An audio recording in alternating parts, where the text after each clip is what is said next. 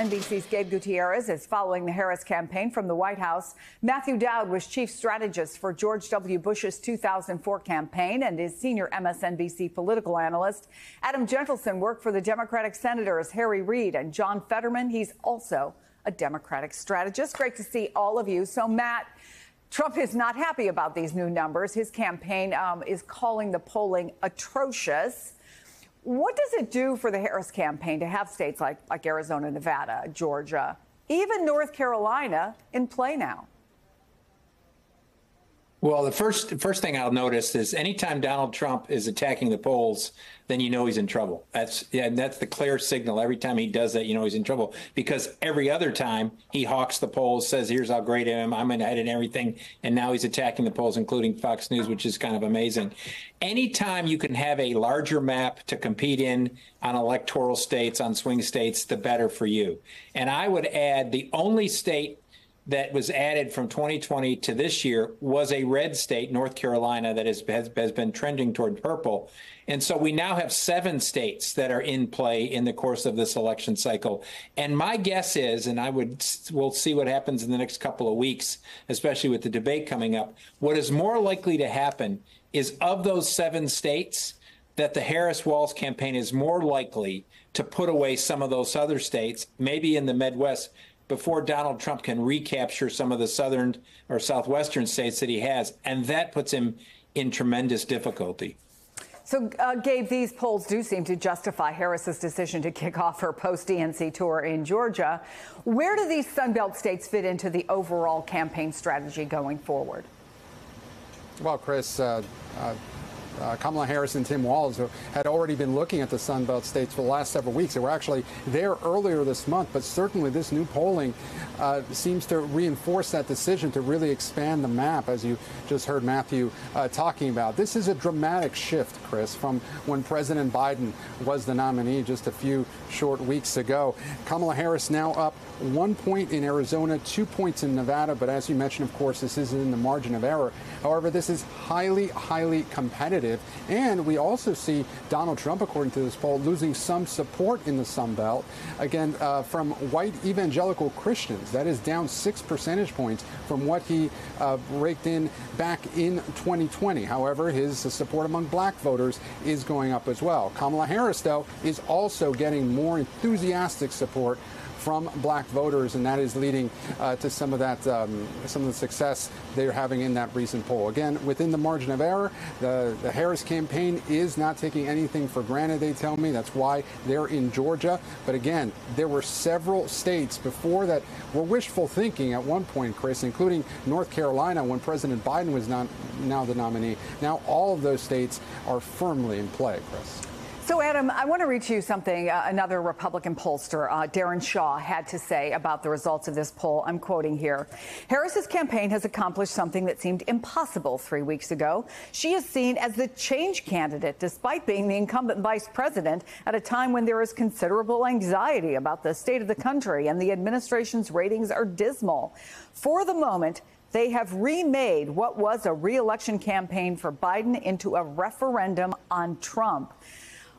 I thought one of the most interesting parts of this poll more Democrats as a percentage now support Harris than Republicans support Trump, not by a lot, but that is a big change. So if this is a referendum on Trump, does Harris win? Yes, I think she does. I mean, I think one of the things you saw when the matchup was uh, former President Trump versus President Biden was a lot of voters who uh, people classified as what's called double haters. They were dissatisfied with both candidates, and they were basically screaming out for a different matchup. And there was a sense that whichever side listened to those voters first could reap significant gains. Whichever side offered up a different candidate could reap gains. And I think that's what you're seeing. Donald Trump is not only a former president, he's one of the most well known people in America and frankly in the world. So, you know, he is kind of stale. People know what they're going to get with him. They're kind of tired of his shtick. I don't think he's even doing his shtick as well as he used to. Uh, it's gotten old. And Harris has brought with her an incredible excitement, a forward looking vision, uh, a strong contrast on the economy. And I think that's been a really powerful, had a really powerful impact on the race so far. And that's what you're seeing in these poll numbers. So take us behind the scenes of what you imagine the conversations are like um, in Matt, the, the Trump campaign headquarters. Because obviously now it looks like they're going to have to spend more money, more time in places that they might have thought they shored up, right? Yeah, I mean, would say inside the Trump campaign or inside the mind of Donald Trump is like one flew over the cuckoo's nest. So I don't know how much logic we can apply to what's actually going on there. Though my guess is there's been some broken ketchup bottles at some point in the course of this. I mean, I think Donald Trump functions well when everything is in order and it's all, and he's doing fine and he's dominating, and to a degree like he was before President Biden dropped out. He had all everything going well. The campaign was functioning well. He was raising money. The polls were all in one direction. Now he's in total disarray because largely for what Adam just said is the Democrats and President Biden to give, give it to him, they were the first ones to listen to a huge part of the voters who didn't want this choice. And once that happened, Donald Trump had no idea how to function in a campaign that wasn't Joe Biden. And we can see that in the last four weeks. He keeps bringing up Joe Biden as if if he brings up Joe Biden, it'll somehow reemerge and he'll be running against Joe Biden again. He has not figured out how to run against the vice president in this. And that's very difficult. And I would add one other thing in this. He, to most voters' minds, he is the incumbent because he's so ever present, mm-hmm. because he's a former president, and because he's the oldest, longest candidate in this field. He feels to most voters like the incumbent. And that gives a great advantage to the Harris campaign. And that's why Donald Trump doesn't know what to do at this point.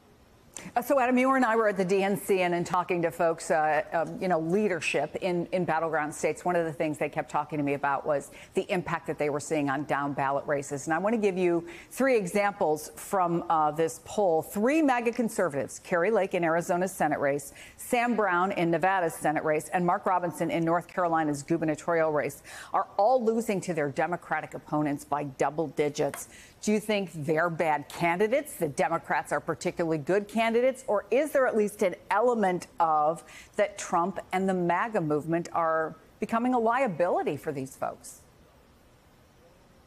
I mean, I think it's all of the above. I think this is a rerun of what we saw in 2022 when Republicans fielded incredibly poor candidates across a range of highly competitive Senate races. And I think it's happening so often that this isn't a fluke. This is a structural issue within the Republican Party that is downstream of the MAGA movement and of Trump's leadership.